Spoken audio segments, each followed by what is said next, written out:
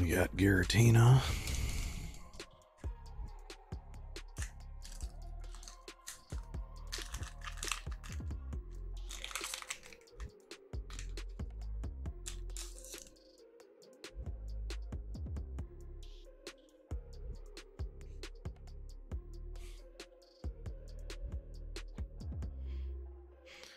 I will guess electric.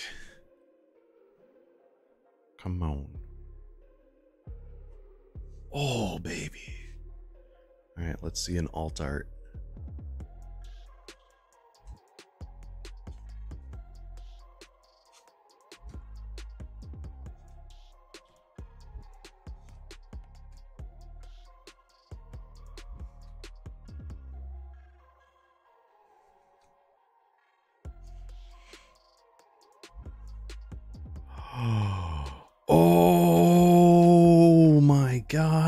God. Yes.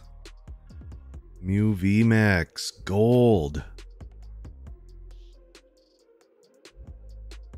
That's great. And follow it up. The Parasect non holo. Hey, that was a good one, I think. We don't know how good, but the cards that looked like this in the last set, they didn't end up being that valuable. But this is a Mew, so that might be more valuable. That's a big maybe, though. So we're not going to know that for sure.